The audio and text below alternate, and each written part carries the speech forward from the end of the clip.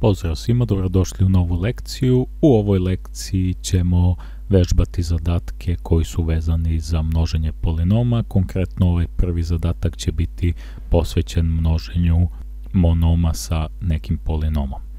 Ajmo da uradimo prvi zadatak pod A. Ovde kad imate 3x pa zagradu 5x minus 4, očigledno je da ne postoji nijedan znak ovde ispred zagrade. Čim ne postoji ni jedan znak između 3x i zagrade, podrazumeva se da je tu znak puta. Obično u matematici se taj znak ne piše, ali učenik je to zna da zbuni jer ne znaju o kom znaku se radi. Kako vršimo ovde množenje? Pa vršimo množenje tako što ovo ovde što ispred zagrade 3x množimo sa svakim u zagradi. Dakle, prvo množimo 3x sa 5x, a onda množimo 3x sa minus 4.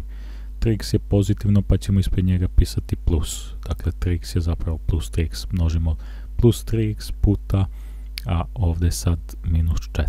Dakle puta minus 4. Čemu je sada to dalje jednako? Ajde pisat ću ispod. To je dalje jednako.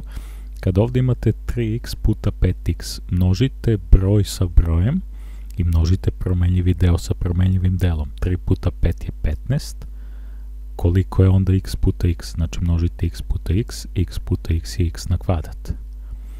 Onda ovde takođe i kod ovog drugog dela množite broj sa brojem i množite promenljivi deo sa promenljivim delom. Šta imamo od brojeva? Od brojeva imamo plus 3 minus 4, s obzirom da je jedan znaka plus drugi znaka minus, rezultat će biti negativan, 3 puta 4 to je 12, i ovo x s obzirom da nemamo sa nekim drugim promenljivim delom da množimo, napisat ćemo x. I ovo je sada rešenje našeg prvog zadatka. Što se tiče drugog zadatka, situacija je slična, dakle opet ovde nemamo nijedan znak, stavit ćemo puta i množimo 7a na četvrti sa svim ovim u zagradi. Dakle, prvo se množi sa a na kvadrat. Dakle, imamo 7a na četvrti puta a na kvadrat plus, dakle ovo 7a na četvrti je zapravo plus 7a na četvrti. Plus 7a na četvrti puta, pa ga množimo s ovim drugim. Dakle, drugi element je minus 8a. Obavezno stavljate ovde zagradu između puta i minus i na kraju ostaje da pomnožimo to plus 7a na 4 sa plus 3. Dakle, bit će put, plus, pardon, 7a na četvrti puta plus 3, za tu trojku nema potrebe da se piše zagrada, to je sada dalje jednako.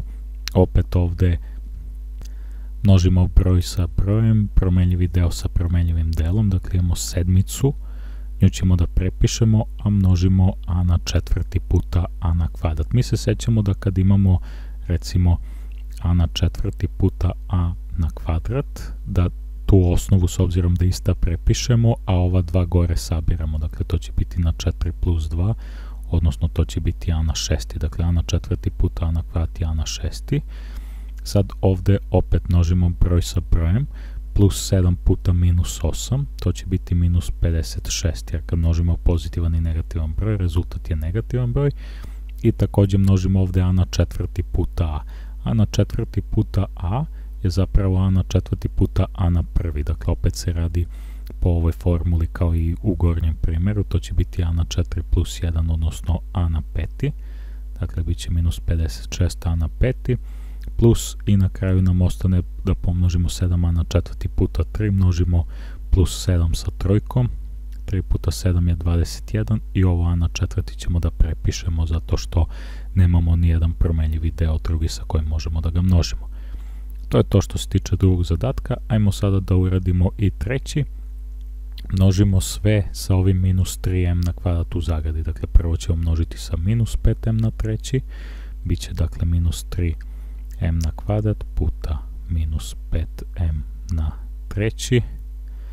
Pa će onda biti minus 3m na kvadrat puta minus 7m na kvadrat. Dakle, bit će minus 3m na kvadrat puta minus 7m na kvadrat pa će biti minus 3m na kvadrat puta plus 12. Dakle, bit će minus 3m na kvadrat puta u zagradi plus 12. To je dalje jednako. Ovde imamo minus 3 i minus 5 koje ćemo prvo da množimo. Minus 3 puta minus 5, minus i minus će davati plus, 3 puta 5 je 15. Onda množimo m na kvadrat i m na treći. Opet to imamo, dakle kad imamo m na kvadrat puta m na treći, to će biti jednako m na 2 plus 3, odnosno m na peti. Dakle, ovdje ćemo imati da je to 15m na peti, zatim množimo minus 3 puta minus 7, minus i minus daje plus, 3 puta 7 je 21, m na kvadrat puta m na kvadrat je m na četvrti, dakle po istom ovom postupku koji smo radili u prethodnom zadatku. I na kraju nam ostaje minus 3 puta plus 12, rezultat je minus 3 puta 12 je 36 i prepišemo m na kvadrat. To je to što se tiče ovog prvog zadatka gdje smo množili monome sa polinomima.